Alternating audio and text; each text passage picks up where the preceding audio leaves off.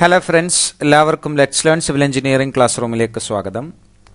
ഇന്ന് നമ്മൾ ഡിസ്കസ് ചെയ്യാൻ പോകുന്നത് ബിൽഡിംഗ് കൺസ്ട്രക്ഷനിലുള്ള ചില ക്വസ്റ്റ്യൻസ് ആണ്. സാധാരണയായിട്ട് ചോദിക്കാറുള്ള ചില ചോദ്യങ്ങളാണ്.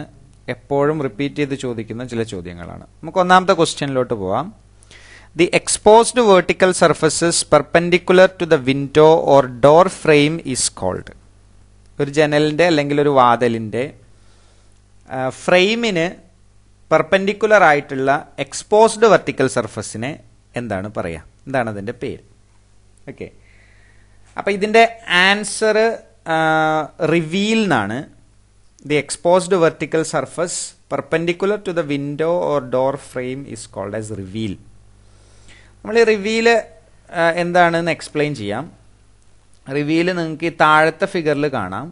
താഴത്തെ ഫിഗറിൽ ഒരു ജനൽ അല്ലെങ്കിൽ ഒരു വാതിൽ വെച്ച് കഴിഞ്ഞാൽ അതിന്റെ ചുമരിന്റെ കുറച്ച് പോർഷൻ എന്ത് ചെയ്തിട്ടുണ്ടാവും? എക്സ്പോസ് ചെയ്ത് നിൽക്കുന്നുണ്ടാവും. ഈ എക്സ്പോസ് ചെയ്ത് നിൽക്കുന്ന ഈ റീജിയൺ പറയുന്ന പേരാണ് റിവീൽസ് ശരിക്കും ശ്രദ്ധിക്കുക. ഒരു ഡോറ് അല്ലെങ്കിൽ ഒരു വിൻഡോ നമ്മൾ കൺസ്ട്രക്റ്റ് ചെയ്യുമ്പോൾ ആ കൺസ്ട്രക്ട് ചെയ്യുമ്പോൾ സ്വാഭാവികമായിട്ടും വാളിന്റെ തിക്നെസ്സിൽ വാളിന്റെ തിക്നെസ് എന്തിനുണ്ടാവില്ല? ഡോറിന് അല്ലെങ്കിൽ വിൻഡോസിന് ഉണ്ടാവില്ല. അപ്പോൾ അതിന്റെ കുറച്ച് പോർഷൻ എന്ത് ചെയ്തിട്ടുണ്ടാവും? എക്സ്പോസ് ചെയ്ത് നിൽക്കുന്നുണ്ടാവും. അല്ലേ? ആ ചുമരിന്റെ കുറച്ച് പോർഷൻ എക്സ്പോസ് ചെയ്ത് നിൽക്കുന്നുണ്ടാവും. ആ പോർഷന് പറയുന്ന പേരാണ് റിവീൽ ഓക്കെ ഇനി ഇതിൽ ചില ടേമുകൾ കൊടുത്തിട്ടുണ്ട് സില്ല് ജാമ്പ് അതേപോലെ കോർണിഷ് ആദ്യം ഒരു ഡോറിൽ അല്ലെങ്കിൽ വിൻഡോയിൽ ഉണ്ടാവുന്ന ചില ടേമുകൾ എന്താണെന്ന് നമുക്ക് നോക്കാം. ഒരു ഡോറിന്റെ ഫ്രെയിം ഡോറിന്റെ ഫ്രെയിം എന്ന് പറഞ്ഞാൽ ഈ കട്ടിളേനെയാണ് എന്ത് പറയുക ഫ്രെയിം എന്ന് പറയുക അപ്പോൾ ഈ ഔട്ടർ പോർഷനാണ് എന്ത്? ഫ്രെയിം ഉണ്ടാവുക. ചില ഡോറുകൾക്ക് താഴെ എന്തുണ്ടാവില്ല ഫ്രെയിം ഉണ്ടാവില്ല മൂന്ന് സൈഡ് മാത്രമേ ഉണ്ടാവുള്ളൂ. വിൻഡോസിന് നാല് സൈഡിലും അല്ലെങ്കിൽ നാല് ഭാഗത്തും എന്തുണ്ടാവും? ഫ്രെയിം പ്രൊവൈഡ് ചെയ്തിട്ടുണ്ടാവും. ഇതിലുള്ള ഈ വെർട്ടിക്കൽ മെമ്പറിനെ ഫ്രെയിമിനെ സപ്പോർട്ട് ചെയ്യുന്ന ഈ വെർട്ടിക്കൽ മെമ്പറിന് രണ്ട് സൈഡിലും ഉണ്ടാവുന്ന ഈ വെർട്ടിക്കൽ മെമ്പറിന് പറയുന്ന പേരാണ് ജാമ്പ്. ഓക്കെ വെർട്ടിക്കൽ മെമ്പറിന് പറയുന്ന പേര് ജാമ്പ് എന്നാണ്. മുകളിലുള്ള ഫ്രെയിമിനെ നമ്മൾ ഹെഡ് എന്ന് പറയും അല്ലെ ഹെഡ് ഫ്രെയിം എന്ന് പറയും. മുകളിലുള്ളതിനെ ഹെഡ് എന്ന് പറയും. താഴെ ഉള്ളതിനെ സിൽ എന്ന് പറയും. വിൻഡോയിലാണ് എന്ത് ചെയ്യുക? സില്ല് ഉണ്ടാവുക. ഡോറിൽ എന്തുണ്ടാവില്ല ചില ഡോറുകളിൽ സില്ല് പ്രൊവൈഡ് ചെയ്തിട്ടുണ്ടാവില്ല. ഇനി നമ്മളൊരു ഡോർ അല്ലെങ്കിൽ ഒരു വിൻഡോ എടുത്തു കഴിഞ്ഞാൽ ഇപ്പോൾ വിൻഡോസൊക്കെ മൂന്ന് ഭാഗങ്ങളുള്ള വിൻഡോ ഉണ്ടാവും. അല്ലേ മൂന്ന് ഷട്ടേഴ്സ് പ്രൊവൈഡ് ചെയ്തിട്ടുള്ള വിൻഡോ ഉണ്ടാവും. അപ്പോൾ അതിലുള്ള ഓരോ ഷട്ടറിനെയും ഡിവൈഡ് ചെയ്യാൻ വേണ്ടിയിട്ട് അല്ലെങ്കിൽ ഒരു വിൻഡോയുടെ സ്പേസിനെ തന്നെ ഡിവൈഡ് ചെയ്യാൻ വേണ്ടി നമ്മൾ കൊടുക്കുന്ന വെർട്ടിക്കൽ മെമ്പറിന് പറയുന്ന പേരാണ് മുള്ളിയൻ. ഇത് സൈഡിൽ വന്നതിന് ജാമ്പ് എന്ന് പറയാ നടുക്ക് വരുന്നതുകൊണ്ട് ഇതിനെയാണ് എന്ത് പറയുക മുള്ളിയൻസ് എന്ന് പറയാം. ഇതേപോലെ തന്നെ നമ്മൾ വിൻഡോനെ ഡിവൈഡ് ചെയ്യാൻ വേണ്ടി ഹൊറിസോണ്ടലി ഡിവൈഡ് ചെയ്യാൻ വേണ്ടിയിട്ട് രണ്ട് ഭാഗങ്ങളാക്കാൻ വേണ്ടി കൊടുക്കുന്ന ഈ പോർഷനെ നമ്മൾ പറയുന്ന പേര് ട്രാൻസം എന്നാണ്. ഇപ്പോൾ ഇതിൽ ആരോമാർക്ക് ഇങ്ങോട്ട് ഇട്ടിട്ടുണ്ട് തെറ്റാണ്. ഇങ്ങനെ കാണിച്ചിരിക്കുന്ന ഹൊറിസോണ്ടൽ മെമ്പർ ട്രാൻസം എന്നാണ് പറയുക. അതേപോലെ തന്നെ ഒരു ടേമും കൂടെ ഉണ്ട് റിബേറ്റ് റിബേറ്റ് എന്ന് പറഞ്ഞു കഴിഞ്ഞാൽ നമ്മളൊരു ജനലിന്റെ വാതിൽ അടയ്ക്കുമ്പോൾ ഷട്ടർ അടയ്ക്കുമ്പോൾ ആ ഷട്ടർ കയറി ആ ജനലിന്റെ ഫ്രെയിമിലോട്ട് കയറി നിൽക്കുന്ന ഒരു ചെറിയ ഡിപ്രഷൻ ഉണ്ട്. ആ ഡിപ്രഷൻ പറയുന്ന പേരാണ് റിബേറ്റ് എന്ന് പറയും. ഇതിൽ നാലാമത്തെ ഓപ്ഷൻ നോക്കുക കോർണിസ് കോർണിസ് എന്ന് പറഞ്ഞു കഴിഞ്ഞാൽ വിൻഡോ ആയിട്ട് ബന്ധപ്പെട്ട് കിടക്കുന്നതല്ല ശരിക്ക്. കോർണിസ് എന്ന് പറഞ്ഞാൽ ആർക്കിടെക്ചറൽ പർപ്പസിന് വേണ്ടിയിട്ട് അല്ലെങ്കിൽ അപ്പിയറൻസിന് വേണ്ടിയിട്ട് അപ്പിയറൻസ് കിട്ടാൻ വേണ്ടിയിട്ട് ഒരു കോഴ്സോ ഒരു ലെയർ ഓഫ് സ്റ്റോൺ നമ്മൾ ഒരു വാളിന്റെ മോൾ ഭാഗത്ത് കൊടുക്കുകയാണെങ്കിൽ ഒരു ചുമരിന്റെ മോൾ ഭാഗത്ത് അല്ലെങ്കിൽ ഒരു വാളിന്റെ മോൾ ഭാഗത്ത് ഒരു ലെയർ ഓഫ് സ്റ്റോൺ നമ്മൾ ആർക്കിടെക്ചറൽ പർപ്പസിന് വേണ്ടിയിട്ട് പ്രൊവൈഡ് ചെയ്യുന്നതിനെയാണ് കോർണിസ് എന്ന് പറയുന്നത്. ഓക്കെ ഇനി രണ്ടാമത്തെ ക്വസ്റ്റ്യനിലോട്ട് പോവാം. The treatment of joints in masonry construction is called ഒരു മെയ്സണറി കൺസ്ട്രക്ഷൻ എടുക്കുകയാണെങ്കിൽ ബ്രിക്ക് ആയിക്കോട്ടെ ഡ്രൈറബിൾ മെയ്സണറി ആയിക്കോട്ടെ. ഏത് മെയ്സണറി കൺസ്ട്രക്ഷൻ എടുത്താലും അതിന്റെ ജോയിന്റിനെ മാത്രം നമ്മൾ സീൽ ചെയ്യുന്നതിനെ അല്ലെങ്കിൽ ജോയിന്റിനെ മാത്രം ട്രീറ്റ് ചെയ്യുന്നതിനെ എന്താണ് പേര് പറയുക ഇപ്പം ജോയിന്റിനെ മാത്രം ഒരു മെയ്സണറിയിൽ ജോയിന്റുകളെ മാത്രം സീൽ ചെയ്യുന്നതിന് അല്ലെങ്കിൽ ട്രീറ്റ് ചെയ്യുന്നതിനെ നമ്മൾ പറയുന്ന പേര് പോയിന്റിങ് എന്നാണ്. പോയിന്റിങ് പോയിന്റിങ് എന്ന് പറഞ്ഞാൽ എഡ്ജുകളും കോർണറുകളും അതേപോലെ തന്നെ ജോയിന്റുകളും എന്ത് ചെയ്യുക? മോർട്ടാർ യൂസ് ചെയ്തിട്ട് പ്ലാസ്റ്റർ ചെയ്യുക. മോർട്ടാർ ഏത് മോർട്ടാർ വേണമെങ്കിലും ആവാം. സിമെന്റോ ലൈമോ മഡോ എന്ത് വേണമെങ്കിലും ആവാം. അത് വെച്ച് പ്ലാസ്റ്റർ ചെയ്യുന്നതിന് അല്ലെങ്കിൽ ആ ജോയിന്റുകൾ മാത്രം മോർട്ടാർ യൂസ് ചെയ്തിട്ട് പ്ലാസ്റ്റർ ചെയ്യുന്നതിനെയാണ് പോയിന്റിംഗ് എന്ന് പറയാം അപ്പോൾ എന്താണ് പ്ലാസ്റ്ററിങ് പ്ലാസ്റ്ററിംഗ് എന്ന് പറഞ്ഞാൽ നമ്മൾ ചുമര് തേക്കുന്നതിനെയാണ് പ്ലാസ്റ്ററിംഗ് എന്ന് പറയുക ചുമര് മുഴുവനായിട്ടും വാളിനെ പ്രൊട്ടക്റ്റ് ചെയ്യാൻ വേണ്ടിയിട്ട് വെതറിങ് കണ്ടീഷനിൽ നിന്നൊക്കെ പ്രൊട്ടക്റ്റ് ചെയ്യാൻ വേണ്ടി നമ്മൾ ആ ചുമര് എന്ത് ചെയ്യും? സിമെന്റ് മോർട്ടാർ യൂസ് ചെയ്തിട്ടോ ലൈം മോർട്ടാർ യൂസ് ചെയ്തിട്ടോ എന്ത് ചെയ്യും? തേക്കും. ആ തേക്കുന്നതിനെയാണ് എന്ത് പറയുന്നത്? പ്ലാസ്റ്ററിങ് എന്ന് പറയുന്നത്. പെയിന്റിങ് പിന്നെ എല്ലാവർക്കും അറിയുന്ന ഒരു ടേമാണ് പെയിന്റിങ് എന്നുള്ളത്. ഒരു പ്രൊട്ടക്റ്റീവ് കോട്ടിംഗ് ആണ് എന്ത്? പെയിന്റിംഗ് എന്ന് പറയുന്നത്. പ്ലാസ്റ്റർ ചെയ്തതിന് ശേഷമാണ് യൂഷ്വലി പെയിന്റിങ് പ്രൊവൈഡ് ചെയ്യാറുള്ളത്. അത് അല്ലെങ്കിൽ ചിലപ്പോൾ സർഫസുകളിലും നമ്മുടെ എക്സ്പോസ്ഡ് സർഫസിലും പ്ലാസ്റ്റർ ചെയ്യുന്നതിന് മുമ്പും പെയിന്റിങ് കൊടുക്കാറുണ്ട്. ഓക്കെ ഇനി മൂന്നാമത്തത് നോക്കുക. The under surface of a stair is called ഒരു സ്റ്റെയറിന്റെ അടിഭാഗത്തിന് പറയുന്ന പേരെന്താണ്? ഒരു സ്റ്റെയറിന്റെ അടിഭാഗത്തിന് പറയുന്ന പേര് സോഫിറ്റ് എന്നാണ്. നമ്മളൊരു സ്റ്റെയർ എടുക്കുമ്പോൾ സ്റ്റെയറിൽ ഒരുപാട് ടേമുകൾ നമ്മൾ പഠിക്കാനുണ്ട്. അതിലുള്ള ചില ടേമുകൾ നമുക്ക് നോക്കാം.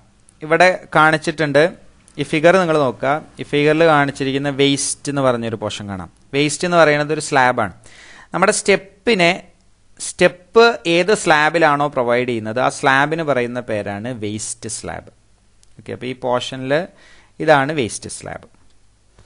അതുപോലെ തന്നെ ഒരു സ്റ്റെയറിൽ ഉണ്ടാവുന്ന സ്റ്റെപ്പുകൾ ആ സ്റ്റെപ്പുകൾക്ക് റൈസറും ഉണ്ടാവും അതേപോലെ തന്നെ ത്രെഡുകളും ഉണ്ടാവും.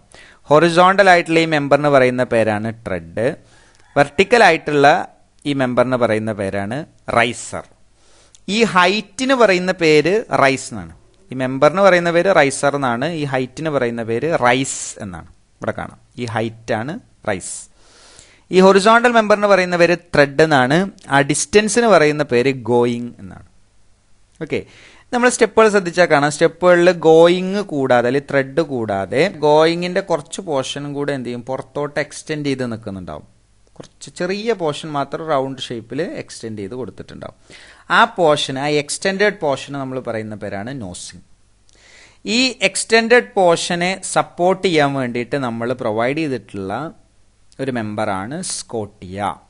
നോസിങ്ങിനെ സപ്പോർട്ട് ചെയ്യാൻ വേണ്ടിയിട്ടാണ് സ്കോട്ടിയ പ്രൊവൈഡ് ചെയ്തിട്ടുണ്ടാവുക. ഇനി ഇതേപോലെ തന്നെ നമ്മൾ സ്റ്റെയറിൽ കൊടുക്കുന്ന ഹാൻഡ് റെയിൽ സ്റ്റെയറിൽ എന്ത് ചെയ്തിട്ടുണ്ടാവും? ഇങ്ങനെ ഒരു മെമ്പർ കൊടുത്തിട്ടുണ്ടാവും. ഇതിനെയാണ് ഹാൻഡ് റെയിൽ എന്ന് പറയുക ഈ ചെറിയ ചെറിയ വെർട്ടിക്കൽ മെമ്പറിനെ ബാലുസ്റ്റേഴ്സ് എന്ന് പറയും. ഏറ്റവും വലിയ അറ്റത്ത് നമ്മൾ കൊടുക്കുന്ന വലിയ പോസ്റ്റുകളെ നമ്മൾ നെവൽ പോസ്റ്റ് എന്ന് പറയും. ഓക്കെ ഇതുകൂടാതെ ലാൻഡിംഗ് ഉണ്ട്. ലാൻഡിംഗ് എന്ന് പറഞ്ഞാൽ ഒരു സീരീസ് ഓഫ് സ്റ്റെപ്പ് കഴിഞ്ഞ് കഴിഞ്ഞാൽ കുറച്ച് പോർഷൻ ഹൊറിസോണ്ടൽ ആയിട്ട് നമ്മൾ കൊടുക്കും. ആ പോർഷനെയാണ് എന്ത് പറയുക ലാൻഡിംഗ് എന്ന് പറയുക നമുക്ക് സാധാരണ ലാൻഡിംഗ് ഉപയോഗിക്കുന്നത് ഡയറക്ഷൻ ചേഞ്ച് ചെയ്യാൻ വേണ്ടിയിട്ടൊക്കെയാണ് എന്ത് ചെയ്യുക ലാൻഡിംഗ് കൊടുക്കുക. ഒരു സ്റ്റെയറിന്റെ ഡയറക്ഷൻ ചേഞ്ച് ചെയ്യാൻ വേണ്ടിയിട്ട് അല്ലെങ്കിൽ റെസ്റ്റ് ചെയ്യാൻ വേണ്ടിയിട്ട് ഒക്കെയാണ് ലാൻഡിംഗ് പ്രൊവൈഡ് ചെയ്യാറ്. അതേപോലെ തന്നെ ഫ്ലൈറ്റ് ഉണ്ട്. ഈ ഫ്ലൈറ്റ് എന്ന് പറഞ്ഞു കഴിഞ്ഞാൽ ചിലപ്പോൾ ഒരു സ്റ്റെയറിന് ഒന്നോ രണ്ടോ മൂന്നോ ഫ്ലൈറ്റുകളൊക്കെ പ്രൊവൈഡ് ചെയ്തിട്ടുണ്ടാവും. ഒരു സീരീസ് ഓഫ് സ്റ്റെപ്പിനെയാണ് രണ്ട് ലാൻഡിങ്ങുകൾക്കിടയിലുള്ള ഒരു സീരീസ് ഓഫ് സ്റ്റെപ്പിനെ നമ്മൾ പറയുന്ന പേരാണ് ഫ്ലൈറ്റ് ഒരു ഫ്ലൈറ്റിൽ മാക്സിമം പന്ത്രണ്ട് സ്റ്റെപ്പുകളെ ഉണ്ടാവാൻ പാടുള്ളൂ. മിനിമം മൂന്ന് സ്റ്റെപ്പുകളെങ്കിലും ഉണ്ടാവണം. ഓക്കെ അടുത്തത് ഹെഡ് റൂം ഇപ്പം ഇതിലുള്ള വേറൊരു ടേമാണ് ഹെഡ് റൂം ഹെഡ് റൂം എന്ന് വെച്ച് കഴിഞ്ഞാൽ ഒരു സ്റ്റെയർ ഉണ്ടാക്കി കഴിഞ്ഞാൽ ആ സ്റ്റെയറിന്റെ മുകളിൽ നമ്മൾ കൊടുക്കുന്ന റൂമാണ് എന്ത്? ഹെഡ് റൂം അപ്പോൾ ഒരു ഫ്ലോറൊക്കെ ഒരു ഫ്ലോർ മാത്രമുള്ള ഒരു ബിൽഡിങ്ങിൽ നമ്മൾ അകത്ത് സ്റ്റെയർ പ്രൊവൈഡ് ചെയ്തിട്ടുണ്ടെങ്കിൽ ആ സ്റ്റെയർ കയറി മുകളിൽ എന്ത് ചെയ്യണ്ടാവും? മുകളിൽ ഒരു റൂം മാത്രം. ആ സ്റ്റെയറിന്റെ മുകളിൽ മാത്രം എന്ത് ചെയ്തിട്ടുണ്ടാവും? റൂം കൊടുത്തിട്ടുണ്ടാവും. ആ റൂമിന് പറയുന്ന പേരാണ് ഹെഡ് റൂം ഒരു ഹെഡ് റൂമിന്റെ മിനിമം ഹൈറ്റ് പറയുന്നത് രണ്ട് മീറ്ററോ അല്ലെങ്കിൽ രണ്ട് പോയിന്റ് ഒന്ന് മീറ്ററോ ആണ്. ശരിക്കും പറയുന്നത് സിക്സ് ഫീറ്റ് എയ്റ്റ് ഇഞ്ചസ് ആണ് ഒരു ഹെഡ് റൂമിന്റെ മിനിമം ഹൈറ്റ് നമ്മൾ പ്രൊവൈഡ് ചെയ്യേണ്ടത്. ഓക്കെ അപ്പോൾ ഈ ക്വസ്റ്റ്യൻ ഒന്നുകൂടെ നോക്കുക under surface of a stair സ്റ്റെയറിന്റെ അടിഭാഗത്തിന് നമ്മൾ പറയുന്ന പേര് സോഫിറ്റ് എന്നാണ്. ബാക്കിയുള്ള ടേമുകളൊക്കെ നമ്മളിപ്പോൾ ഡിസ്കസ് ചെയ്ത് കഴിഞ്ഞു. ഇനി നാലാമത്തെ ക്വസ്റ്റ്യൻ നോക്കുക the operation of providing new foundation is called ഒരു ബിൽഡിങ്ങിന് അല്ലെങ്കിൽ ഒരു സ്ട്രക്ചറിന് പുതിയൊരു ഫൗണ്ടേഷൻ നമ്മൾ കൊടുക്കുന്നതിന് പറയുന്ന പേരെന്താണ്? The answer is option C underpinning underpinning എന്ന് പറഞ്ഞാൽ ഇപ്പം എക്സിസ്റ്റിംഗ് ആയിട്ടൊരു ബിൽഡിംഗ് ഉണ്ട് എന്ന് വിചാരിക്കുക. ആ ബിൽഡിങ്ങിന് എന്താണ്? ബലക്ഷയം ഉണ്ടായിക്കഴിഞ്ഞാൽ നമ്മൾ എന്ത് ചെയ്യും? ചിലപ്പോൾ അതിന് ഒരു എക്സ്ട്രാ സപ്പോർട്ട് കൊടുക്കും. ഇപ്പോൾ ഒരു ഭാഗം ഇരുന്ന് പോവുകയാണ് എന്നൊക്കെ വിചാരിക്കുക. പെട്ടെന്ന് ക്രാക്ക് വീഴുക. ഇപ്പോൾ ഒരു ഭാഗം ഇരുന്ന് പോകാനുള്ള സാധ്യതയൊക്കെ നമ്മൾ ഉണ്ടെങ്കിൽ അതിന് ഇപ്പോൾ ഉള്ള സപ്പോർട്ടിനേക്കാൾ എന്ത് ചെയ്യും? ഒരു സപ്പോർട്ട് നമ്മൾ കൺസ്ട്രക്ഷനൊക്കെ കഴിഞ്ഞതിന് ശേഷമാണ് അണ്ടർപിന്നിങ് കൊടുക്കുക. പ്രത്യേകം ശ്രദ്ധിക്കണം. കൺസ്ട്രക്ഷൻ കഴിഞ്ഞതിന് ശേഷം ഒരു ഭാഗത്ത് ബലക്ഷയം ഉണ്ടെന്ന് തോന്നുകയാണെങ്കിൽ ആ പോർഷൻ എന്ത് ചെയ്യും? നമ്മൾ ഗ്രൗണ്ടിൽ തന്നെ എന്ത് ചെയ്യണം? സപ്പോർട്ട് ചെയ്യണം. അപ്പം അങ്ങനെ സപ്പോർട്ട് ചെയ്യാൻ വേണ്ടി നമ്മൾ കൊടുക്കുന്ന പുതിയ പുതിയൊരു ഫൗണ്ടേഷനെയാണ് എന്താ പറയുക അണ്ടർ പിന്നിങ് എന്ന് പറയുക ഇതിലുള്ള ഈ മൂന്നാമത്തെ ഫിഗറാണ് അണ്ടർ പിന്നിങ്ങിനെ സൂചിപ്പിക്കുന്നത്. ഇപ്പം ഈ പോർഷനിൽ സപ്പോർട്ടുകളില്ല അല്ലെങ്കിൽ ഇവിടുത്തെ മണ്ണ് ഒലിച്ചു പോയിട്ടുണ്ടെങ്കിൽ അല്ലെങ്കിൽ മറ്റെന്തെങ്കിലും കാരണങ്ങൾ കൊണ്ട് ബലക്ഷയം ഉണ്ടായിട്ടുണ്ടെങ്കിൽ അവിടെ നമ്മൾ എന്ത് ചെയ്യും? സപ്പോർട്ടുകൾ പ്രൊവൈഡ് ചെയ്യും. ഈ സപ്പോർട്ട് എന്ത് മെറ്റീരിയൽ ആവും? ചിലപ്പോൾ കോൺക്രീറ്റ് ആയിരിക്കും.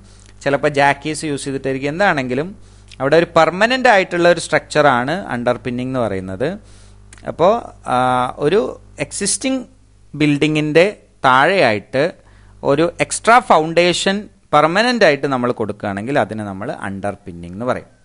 ബാക്കിയുള്ള ടേം നോക്കുക first one is shoring shoring എന്ന് പറഞ്ഞാൽ ഒരു സ്ട്രക്ചർ കൺസ്ട്രക്ട് ചെയ്യുന്ന സമയത്ത് ടെമ്പററി ആയിട്ട് അതിനെ സപ്പോർട്ട് ചെയ്ത് നിർത്തണമെങ്കിൽ ആ സ്ട്രക്ചറിനെ അല്ലെങ്കിൽ ആ മെമ്പറിനെ ടെമ്പററി ആയിട്ട് സപ്പോർട്ട് ചെയ്ത് നിർത്തണമെങ്കിൽ നമ്മൾ കൊടുക്കുന്ന സപ്പോർട്ടിന്റെ പേരാണ് ഷോറിംഗ് ഇപ്പോൾ ഇതിൽ ഈ ഇത് ഒരു ഷോറിങ്ങിന്റെ എക്സാമ്പിൾ ആയിട്ട് പറയാം.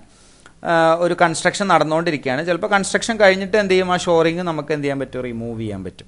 അപ്പോൾ നമുക്ക് ഒരു ചുമര് പൊളിച്ചിട്ട് എന്ത് വേണം? ഒരു ചുമര് പൊളിച്ച് നമുക്ക് അവിടെ ഒരു ഡോറ് ഫിറ്റ് ചെയ്യണം എന്ന് വിചാരിക്കാം. അപ്പോൾ ആ ചുമര് പൊളിക്കുമ്പോൾ ലിൻഡലിന്റെ ആ ഭാഗം ചിലപ്പോൾ എന്ത് ചെയ്യും? നമ്മൾ സപ്പോർട്ട് ചെയ്ത് കൊടുക്കും. അപ്പോൾ ആ പോർഷനെ നമുക്ക് എന്ത് പറയാം? ഷോറിംഗ് എന്ന് പറയാം. അപ്പോൾ ടെമ്പററി ആയിട്ട് മാത്രം ഒരു മെമ്പറിനെ സപ്പോർട്ട് ചെയ്ത് നിർത്തുക കൺസ്ട്രക്ഷന്റെ സമയത്ത്. എന്നിട്ട് കൺസ്ട്രക്ഷന് ശേഷം അത് എന്ത് ചെയ്യും? നമ്മൾ റിമൂവ് ചെയ്യും. ആ സപ്പോർട്ടിന് പറയുന്ന പേരാണ് ഷോറിംഗ് രണ്ടാമത്തെ scaffolding option B scaffolding scaffolding എന്താണെന്ന് വെച്ച് കഴിഞ്ഞാൽ ഒരു ബിൽഡിംഗ് കൺസ്ട്രക്ട് ചെയ്യുന്നത് ഇതാണ് ഫിഗർ സ്കഫോൾഡിങ്ങിന്റെ ഒരു ബിൽഡിംഗ് കൺസ്ട്രക്ട് ചെയ്യാൻ വേണ്ടിയിട്ട് അതിൽ ബിൽഡിംഗ് കൺസ്ട്രക്ട് ചെയ്യുമ്പോൾ പ്ലാസ്റ്ററിങ്ങിനോ അല്ലെങ്കിൽ പെയിന്റിങ്ങിനോ അല്ലെങ്കിൽ കൺസ്ട്രക്ഷനോ വേണ്ടി തന്നെ നമ്മൾ മെറ്റീരിയൽസിനെയും അതേപോലെ തന്നെ ലേബറിനെയും സപ്പോർട്ട് ചെയ്യാൻ വേണ്ടിയിട്ട് ഒരു എക്സ്ട്രാ സ്ട്രക്ചർ എന്ത് ചെയ്യും? കൺസ്ട്രക്ട് ചെയ്യും. ബിൽഡിങ്ങിന് തൊട്ടടുത്തായിക്കൊണ്ട് ഒരു സ്ട്രക്ചർ എന്ത് ചെയ്യും? കൺസ്ട്രക്ട് ചെയ്ത് വെക്കും. അതിന്റെ ഉപയോഗം എന്താണെന്ന് വെച്ച് കഴിഞ്ഞാൽ ലേബേഴ്സിനെയും അതേപോലെ തന്നെ മെറ്റീരിയലും സപ്പോർട്ട് ചെയ്ത് നിർത്തുക എന്നുള്ളതാണ് കൺസ്ട്രക്ഷന് വേണ്ടിയിട്ട്. കൺസ്ട്രക്ഷന് ശേഷം എന്ത് ചെയ്യും? അത് റിമൂവ് ചെയ്യും ചെയ്യും. അപ്പം അതിനെയാണ് ആ സപ്പോർട്ടിനെയാണ് എന്താ പറയുക സ്കഫോൾഡിംഗ് എന്ന് പറയാം. യൂഷ്വലി ഇത് പ്ലാസ്റ്റർ ചെയ്യാൻ വേണ്ടിയിട്ടും പെയിന്റ് ചെയ്യാൻ വേണ്ടിയിട്ടൊക്കെയാണ് കൂടുതലായിട്ടും സ്കഫോൾഡിംഗ് പ്രൊവൈഡ് ചെയ്യാറ്. എന്തിനു വേണ്ടിയിട്ട് വേണമെങ്കിലും സ്കഫോൾഡിംഗ് കൊടുക്കാം. സ്കഫോൾഡിങ്ങിന്റെ യൂസ് ഇത്രയേ ഉള്ളൂ. അവിടെ കൺസ്ട്രക്ഷൻ പർപ്പസിന് വേണ്ടിയിട്ട് ലേബേഴ്സിനെയും അതേപോലെ തന്നെ മെറ്റീരിയൽസിനെയും സപ്പോർട്ട് ചെയ്ത് നിർത്തുക എന്നുള്ളതാണ്. ഇനി അഞ്ചാമത്തെ ക്വസ്റ്റ്യൻ നോക്കുക ഇതൊരു സിമ്പിൾ ക്വസ്റ്റ്യൻ ആണ്. Plastics can be broadly classified as പ്ലാസ്റ്റിക്കിനെ എങ്ങനെയൊക്കെ ക്ലാസിഫൈ ചെയ്തിട്ടുണ്ട്? ഇതിന്റെ ഓപ്ഷൻ ബി ആണ് thermosetting and thermoplastics പ്ലാസ്റ്റിക്കിന്റെ രണ്ട് ഭാഗമാണ് തെർമോ സെറ്റിങ്ങും തെർമോ പ്ലാസ്റ്റിക്കും തെർമോ സെറ്റിംഗ് എന്ന് പറഞ്ഞു കഴിഞ്ഞാൽ ഒരു പ്ലാസ്റ്റിക് ചില ടൈപ്പ് പ്ലാസ്റ്റിക്കുകൾ ആ പ്ലാസ്റ്റിക്കുകൾ ചൂടാക്കി കഴിഞ്ഞാൽ അതിന് വേണ്ട ഷേപ്പിലോട്ട് കൺവേർട്ട് ചെയ്യാം. പക്ഷെ ഒരിക്കലും പിന്നീട് ചൂടാക്കി കഴിഞ്ഞാൽ അതിനെ പഴയ സ്റ്റേജിലോട്ട് തിരിച്ചു കൊണ്ടുവരാൻ പറ്റൂല. അങ്ങനത്തെ പ്ലാസ്റ്റിക്കുകളാണ് തെർമോ സെറ്റിംഗ് എന്ന് പറയുക തെർമോ പ്ലാസ്റ്റിക്സ് എന്ന് പറഞ്ഞു കഴിഞ്ഞാൽ എത്ര തവണ വേണമെങ്കിലും അതിനെ ചൂടാക്കി റീമോൾഡ് ചെയ്തുകൊണ്ടിരിക്കാം. അങ്ങനത്തെ പ്ലാസ്റ്റിക്കുകളെ തെർമോ പ്ലാസ്റ്റിക്സ് എന്ന് പറയും. ഇലാസ്റ്റിക് ആൻഡ് റിജിഡ് മെറ്റീരിയലിന്റെ മെക്കാനിക്കൽ പ്രോപ്പർട്ടീനെ ബേസ് ചെയ്തിട്ട് ഡിവൈഡ് ചെയ്തതാണ് ഇലാസ്റ്റിക് മെറ്റീരിയലും റിജിഡ് മെറ്റീരിയലും. ഇലാസ്റ്റിക് മെറ്റീരിയൽ എന്ന് പറഞ്ഞാൽ ഒരു ഫോഴ്സ് അപ്ലൈ ചെയ്ത് കഴിഞ്ഞാൽ ആ ഫോഴ്സ് റിലീസ് ചെയ്യുമ്പോൾ അതിനതിന്റെ പഴയ സ്റ്റേജിലോട്ട് തിരിച്ചു വരുന്നുണ്ടെങ്കിൽ അങ്ങനത്തെ മെറ്റീരിയലുകളെ നമ്മൾ ഇലാസ്റ്റിക് മെറ്റീരിയൽ എന്ന് പറയും. റിജിഡ് എന്ന് പറഞ്ഞാൽ ഡിഫോമേഷൻ സംഭവിക്കാത്തതാണ് എന്ത്? റിജിഡ് മെറ്റീരിയൽസ് ഒരു ഫോഴ്സ് അപ്ലൈ ചെയ്താലും അതിന് കാര്യമായിട്ടൊന്നും എന്തില്ല ഡീഫോമേഷൻസ് സംഭവിക്കില്ല അങ്ങനത്തെ മെറ്റീരിയലുകളെ റിജിഡ് മെറ്റീരിയൽ എന്ന് പറയും. Thank you for watching the video